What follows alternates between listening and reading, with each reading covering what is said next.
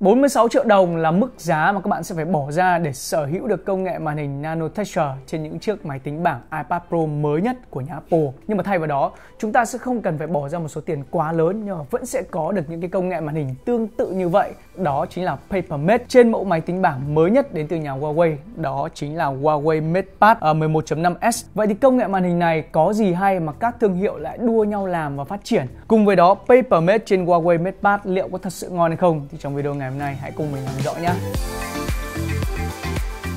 Chúng ta hãy cùng đi vào yếu tố đầu tiên đó chính là cái cảm giác vuốt chạm của cái công nghệ màn hình Mate này. Với cá nhân mình sau khi mình đã trải nghiệm rất nhiều màn hình kể cả những mẫu máy tính bảng rẻ này, à, tầm trung cho tới những mẫu máy tính bảng đắt tiền thì với Huawei MatePad 11.5S nó sẽ có một cái giá trị riêng của cái màn hình mết Cái sự khác biệt ở đây so với những màn hình thông thường ấy là khi chúng ta vuốt chạm hay là thao tác với cái màn hình mết này thì nó sẽ có một cái độ bám tay, một cái độ lì tay nhất định để khiến chúng ta không cảm thấy là bị trơn tuột đi trên cái phần màn hình này.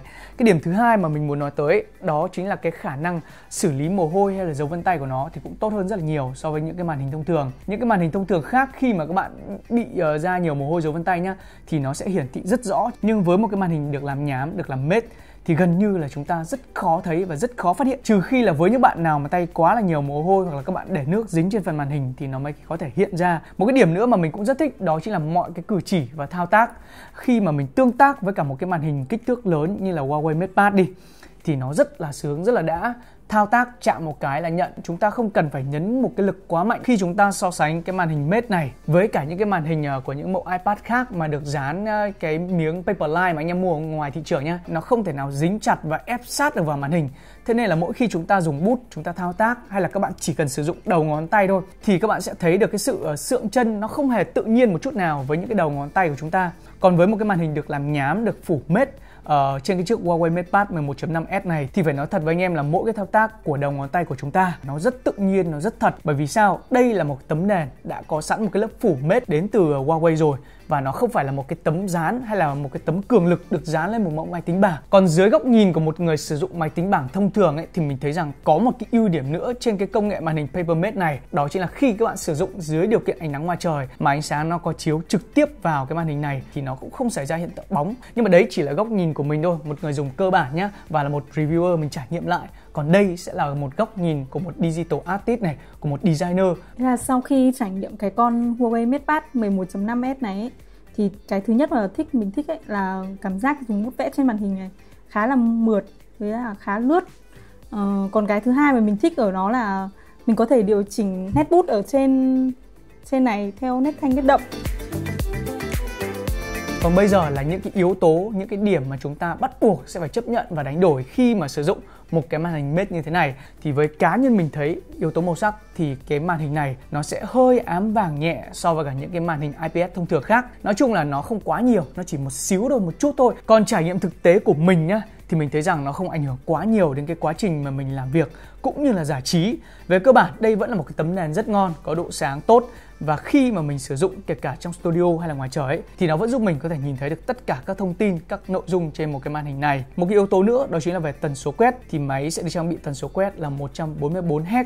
Nó không quá nổi bật so với cả 120. Nhưng mà khi chúng ta sử dụng riêng biệt hai cái mẫu máy tính bảng với hai cái tần số quét khác nhau ấy thì các bạn sẽ thấy là 144 Hz nó mượt hơn, nó ngon hơn rất là nhiều so với cả 120 Hz. Như anh em thấy nó đã được trang bị đầy đủ màn hình này, bàn phím này, bút này. Thế nên là cái khả năng làm việc của nó cũng rất là độc lập từ các ứng dụng hay là các phần mềm liên quan tới Office bản quyền thì cũng đã được cài sẵn lên đây. Về giao diện nhá và cách sử dụng thì mình thấy là gần như nó không khác gì so với cả phiên bản trên laptop mà chúng ta vẫn đang sử dụng hiện tại. Nó rất là quen thuộc từ các cử chỉ ví dụ như là mình sắp xếp cái file Excel này hay là các ứng dụng khác như là PowerPoint thì cũng được làm rất mượt. Và trong cái quá trình mà mình sử dụng ấy thì mình thấy nó cũng không phát sinh ra những cái vấn đề gần như là khó sử dụng nào cả. Ngoài ra khi mà chúng ta kết hợp thêm với cả bút này hay là bàn phím có sẵn trong máy ấy, thì cái khả năng làm việc của nó lại được đẩy lên rất cao. Các bạn có thể mang đi một cách rất là nhẹ nhàng này. Còn để nói về khả năng ghi chú nhá thì với ứng dụng Huawei Note thì chúng ta có thể ghi chú một cách rất là dễ dàng với rất nhiều tính năng trong cái ờ, ứng dụng này. Tất cả các cử chỉ thì đều là các cử chỉ thông minh và các bạn có thể phát lại này,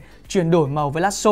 Nói chung là rất nhiều những cái tính năng và chức năng để chúng ta có thể ghi chú một cách dễ dàng, kể cả là các bạn brainstorm ý tưởng hay là ghi chép bài trên lớp. Thì tất nhiên là với đầy đủ cả một combo từ bàn phím cho tới bút như vậy thì không có một cái điểm gì mà để chúng ta có thể chê được cả. Chúng ta cũng có thể để trực tiếp bút trên cái phần máy tính bảng như thế này để nó sạc luôn mà các bạn không cần phải cắm thêm bất cứ dây dọ nào cả rồi tiếp theo đó chính là GoPen, một cái ứng dụng mà đã được cài sẵn trong máy. À, về trải nghiệm thực tế của mình nhá, thì mình thấy rằng nó khá là giống với cả Procreate trên iPad. Mình có thể chọn được rất nhiều đầu bút này, đầu cọ này uh, và tùy chỉnh được rất là nhiều layer nên là cảm giác nó không phải là một cái phần mềm nó đơn giản. Đây là một phần mềm mình nghĩ rằng chúng ta có thể sử dụng được về cả cơ bản cho tới nâng cao. Tức là với những anh em nào kể cả làm thiết kế này designer thì cũng có rất nhiều các cử chỉ và thao tác thông minh. Từ đó thì cái workflow của chúng ta cũng dễ dàng và thuận tiện hơn rất là nhiều. Và một cái điểm mình muốn nói tới đây đó chính là cái phần mềm GoPay này. Nó hoàn toàn miễn phí từ khi mà các bạn mua máy. Còn để chia sẻ kỹ hơn với các bạn về cái khả năng viết này, vẽ cũng như là thao tác với phần mềm này thì mình sẽ lại liên hệ với bạn Trang Designer để chia sẻ với anh em nhé mình có trải nghiệm vẽ về ứng dụng GoPen thì với mình thấy giao diện nó khá là đơn giản nhưng mà nó vẫn đầy đủ các tính năng à, mình hay dùng trên các ứng dụng vẽ chuyên nghiệp khác. Ví dụ như là layer đầu bút thì có thể tùy chỉnh màu sắc độ to nhỏ. Harmony OS được trang bị trên đây nó đem lại cho mình một cái trải nghiệm cực kỳ là khác biệt so với cả những cái hệ điều hành Android khác. Khi các bạn muốn thao tác đa nhiệm với các cửa sổ chia 2, chia 3 cực kỳ là đơn giản. Anh em chỉ cần vuốt từ góc dưới lên này, kéo sang phải là ứng dụng nó đã trở thành một cái cửa sổ nổi, một cái pop-up rồi. Kéo sang trái thì sẽ là chia đôi được một cái màn hình. Rất là tiện đúng không? Ngoài ra với những cái trải nghiệm khác từ viết này, vẽ cho tới khi các bạn chơi game hay là thao tác với cả các mạng xã hội phổ biến hiện nay thì mình thấy rằng nó cũng không gặp bất cứ một cái vấn đề gì khó chịu cả Facebook, TikTok, Messenger đều ổn. Còn các yếu tố khác liên quan tới cài app thì sao? Vấn đề này thì bọn mình đã nói một lần rồi. Các bạn có thể sử dụng các ứng dụng của Google thông qua ứng dụng đó chính là Gbox hay là APK trên APK Pure. À, nhưng thi thoảng vẫn có những cái vấn đề liên quan tới crash này hoặc là khi đang sử dụng app mình đa nhiệm thì nó bị văng ra. Còn về khả năng giải trí thì có một cái điểm cộng rất lớn trên mẫu máy tính bảng đến từ nhà Huawei đó chính là nó sẽ được trang bị 4 loa trên đây. Chất lượng âm thanh thì mình sẽ để đây để các bạn có thể tự trải nghiệm. Nhưng với cá nhân mình nhá, thì rõ ràng chất lượng âm thanh trên mẫu máy tính bảng này là quá tốt để chúng ta trải nghiệm khi mà nghe nhạc hay là chơi game.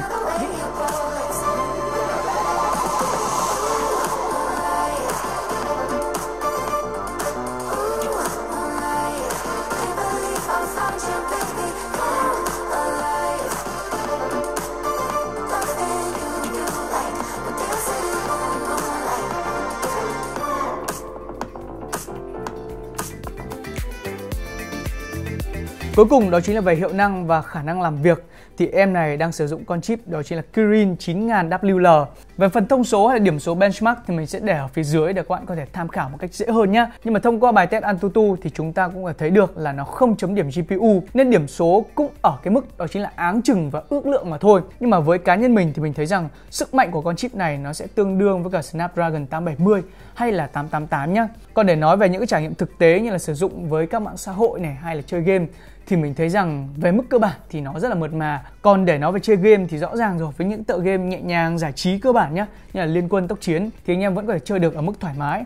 Còn với những cái tựa game sát cấu hình hơn, như là Genshin Impact, thì có vẻ như là mẫu máy tính bảng này nó sẽ hơi bị quá sức một xíu. Tổng kết lại, với mức giá khoảng hơn 13 triệu đồng cho mẫu máy tính bảng đến từ nhà Huawei, thì MatePad 11.5S ờ, mình thấy rằng nó có một cái điểm ăn tiền cực kỳ lớn đó chính là về phần màn hình. Không có một cái điểm gì mình có thể chê được trên một cái màn hình này. Một cái màn hình được phủ mết, làm nhám cho cái cảm giác thao tác rất là thích, rất là thoải mái. Nó chống chói tốt. Mọi thao tác, từ viết vẽ hay là thao tác với các đầu ngón tay thì đều rất là đơn giản. Chỉ có điều màu sắc của nó thì chưa thật sự là quá tốt. Nhưng mà với cá nhân mình thì với một cái kích thước và một cái thiết kế như vậy đã là quá tốt rồi còn về những cái yếu tố khác như là về phần mềm này, khả năng thao tác với các ứng dụng viết vẽ, thì mình thấy rằng Huawei cũng đang hỗ trợ chúng ta rất là nhiều, kể cả là những người dùng cơ bản muốn ghi chú này, hay là với tệp người dùng nâng cao hơn như là designer muốn thiết kế, muốn vẽ, thì nó vẫn có thể đáp ứng được những nhu cầu đó. Ok, và đó là những chia sẻ của mình về mẫu máy tính bảng mới nhất đến từ nhà Huawei, với mức giá khoảng hơn 13 triệu đồng. Thì anh em nghĩ sao về mẫu máy tính bảng này? Comment ở phía dưới để mình biết nhá. Còn bây giờ thì xin chào.